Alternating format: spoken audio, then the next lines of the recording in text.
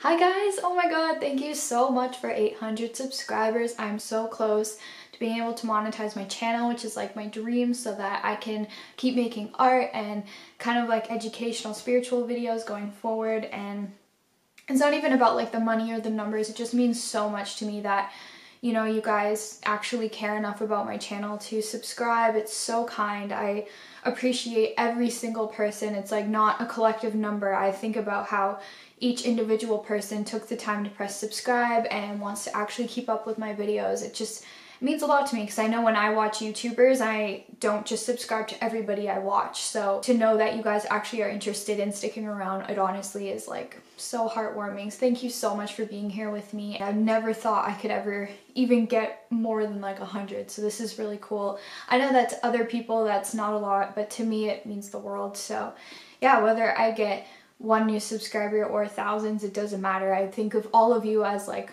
my family, my friends, because you guys are supporting me in my life and I like connecting with you. I love when people DM me and comment things to me. It's just like I feel this connection. That's why I do what I do and I post things. It's not because I love myself and I want everyone to see me. It's because I want to find lots of deeper connections with people all over the world through art and deep conversation and just fun stuff. So my long-winded way of just saying thank you, I really, really appreciate it. Today, we're going to make a very vulnerable, honest video because I think that as I'm, you know, I've seen a lot more of you here, I think a lot of you appreciate honesty and um, a lot of people like to sit down and, you know, chat honest type videos. So that's what I'm doing today. I'm going to talk about this piece that I made yesterday. I just sanded it before I filmed this because I'm also kind of filming like a day in the life, which I will link below.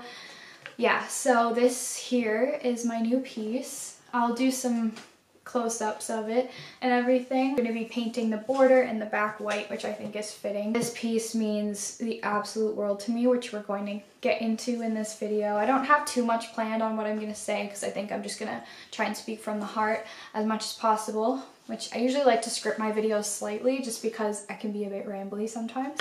Should I move back so you guys can actually see me paint this a little better?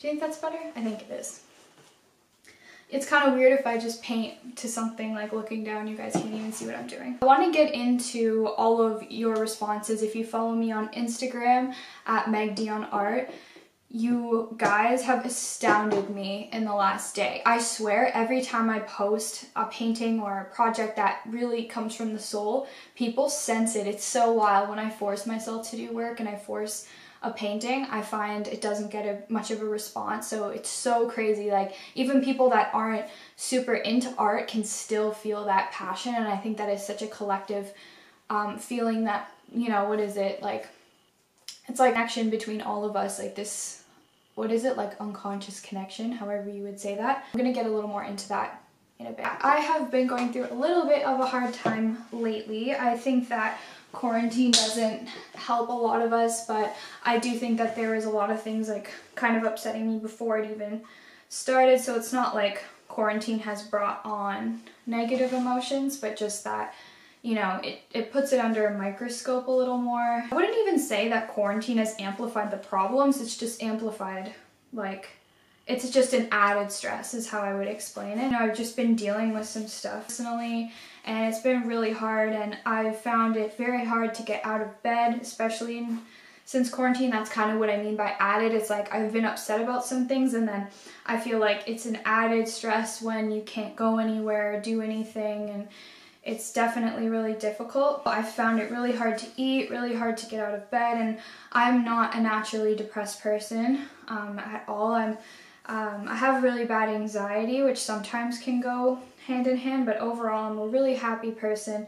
So when I get depressed, it's definitely not good because it means something's really up with me and I'm someone who likes to stay very in touch with myself. So when I'm upset, I'm like, okay, we need to do some self-reflection and figure out what's what's up, what's going on. I'm a very, I really love communication. As you guys have seen, so many videos that I've made are about communication because I love being able to have open conversations with people and kind conversations, um, which is something, a skill that I think a lot of people, whether it's friends, family, people I've dated, have just really lacked it. I love watching all types of, I think I'm very interested by relationships. I love relationship dynamics. I watch a few channels. I watch this one channel, Connor and Brittany, and they're in a, they don't really define their relationship, but they do kind of go by polyamorous and um, it's something that I wouldn't do personally, but I love watching people who just live different lives than me and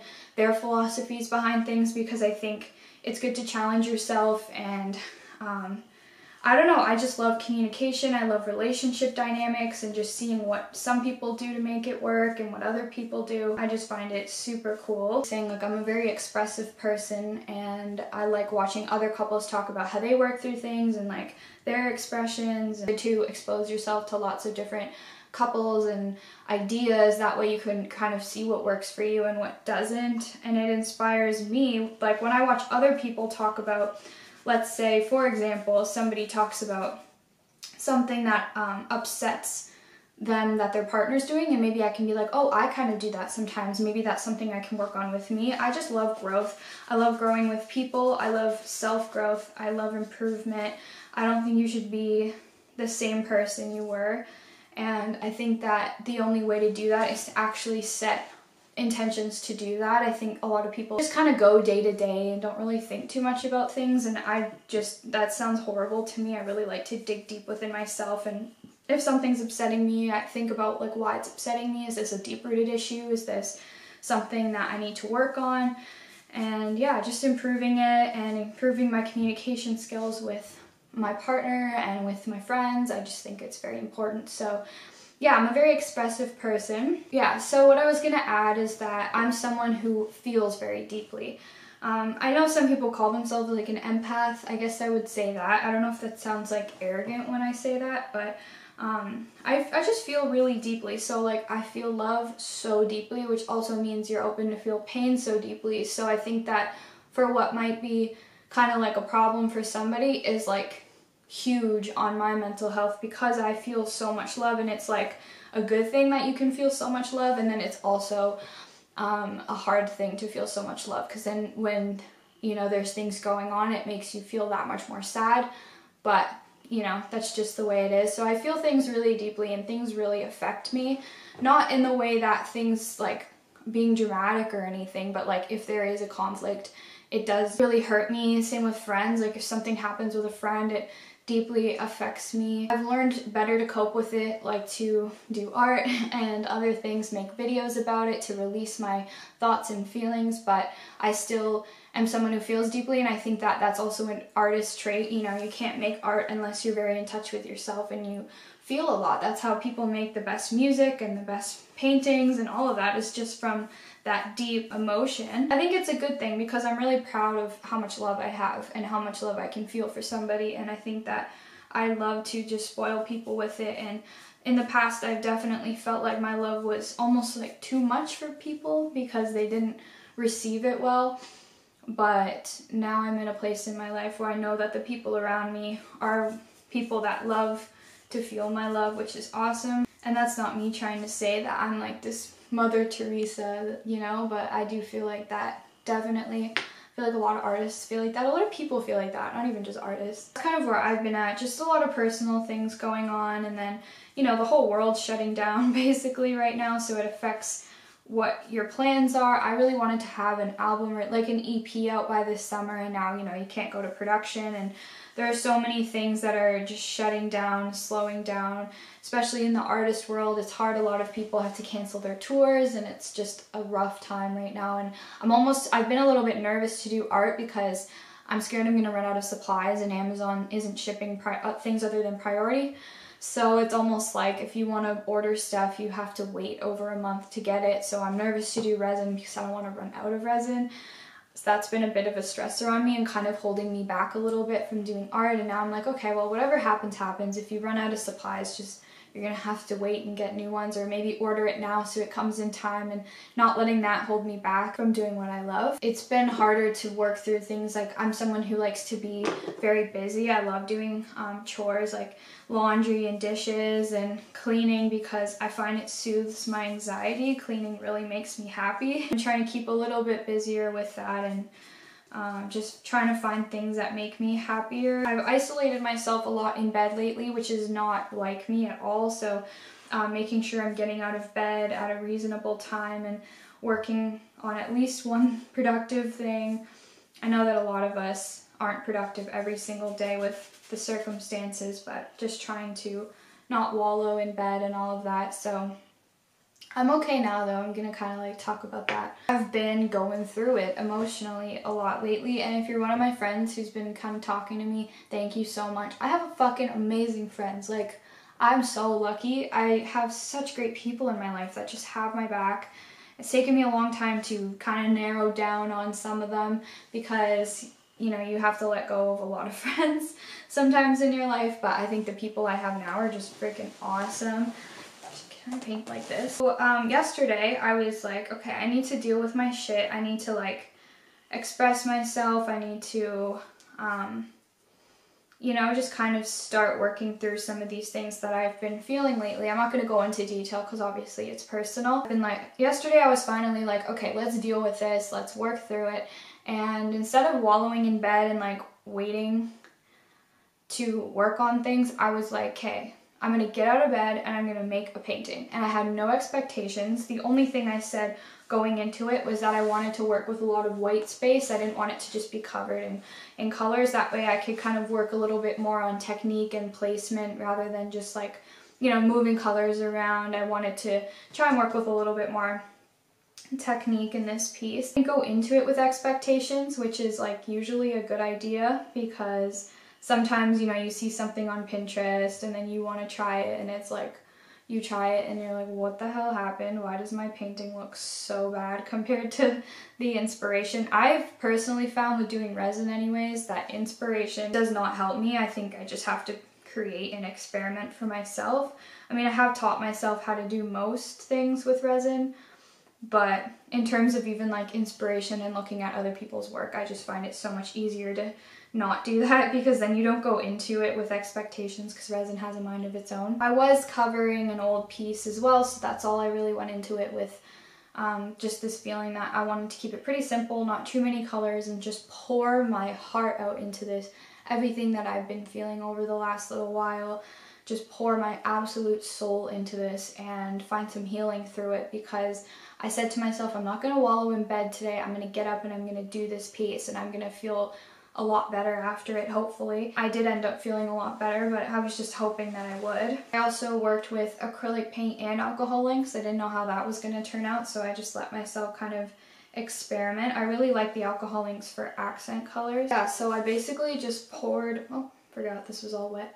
I poured my heart and soul into this. I just took every feeling and emotion that was negative that I've been feeling and positive as well, which I'll talk about, into this. And I just like let myself feel, I let myself think, and it just felt so good to release into this painting. This represents everything I've been feeling. I look at this and I'm like, this is the visual representation of myself and my emotion because I've explained in videos before how I'm very visual. I didn't know that synesthesia, when Billie Eilish started talking about it in an interview, I didn't know that that was like a thing people had. I thought it was just normal. Like I know that every day of the week and number has a specific color and like feel to it and I feel like emotions to emotions, sound, everything to me is color. So when I look at this, it's like these colors and the way that the colors go is how I felt inside. This is an exact visual representation of everything I've been feeling. So it's freaking cool.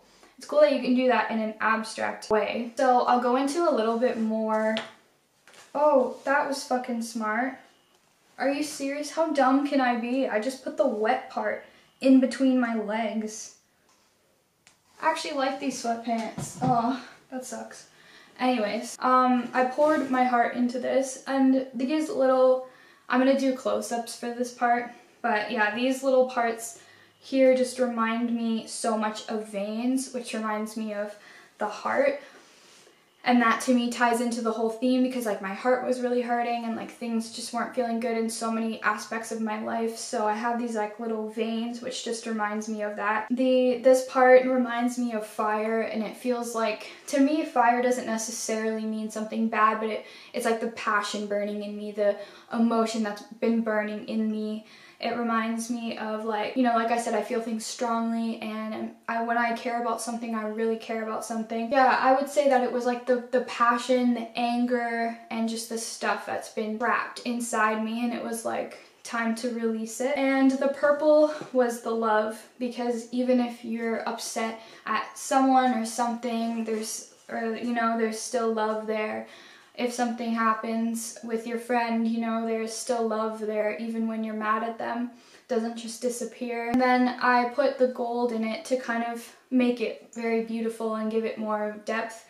because I think that there is so much beauty in feeling even the negative negative, which I don't think many things are actually negative because they're always a stepping stone to growth and feeling better and putting that emotion into art because a lot of art comes from sadness and anger and all of that sort of stuff.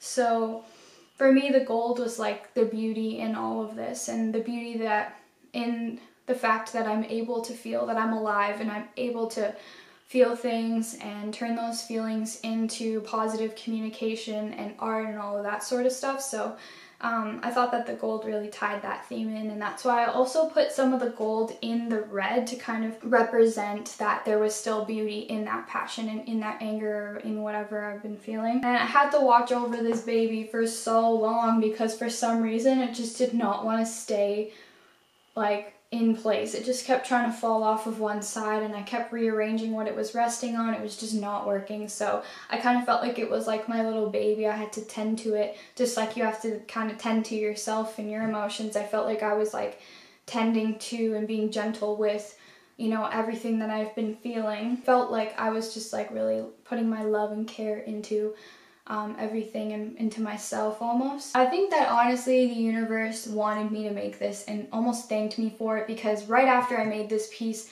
so many things in my life I started kind of figuring out and um, my situations I've been upset about were a lot more resolved than they had been. So I think the universe was like, okay, you know what, you got up out of bed and made this, so here you go. A lot of things for you are going to start to feel better now, which is awesome. Hopefully they start to feel better. I mean, you never know. I think that the universe was like, yes, this is what you needed to do. This is what I've been waiting for you to make. And that's when you can start to feel a little bit better. So now the last thing I'm going to say is I'm going to talk about you guys because holy crap so many messages about this piece. I swear, people just know when I love something and when I actually put so much passion into it. And it's very different from any art I've ever made before in the past.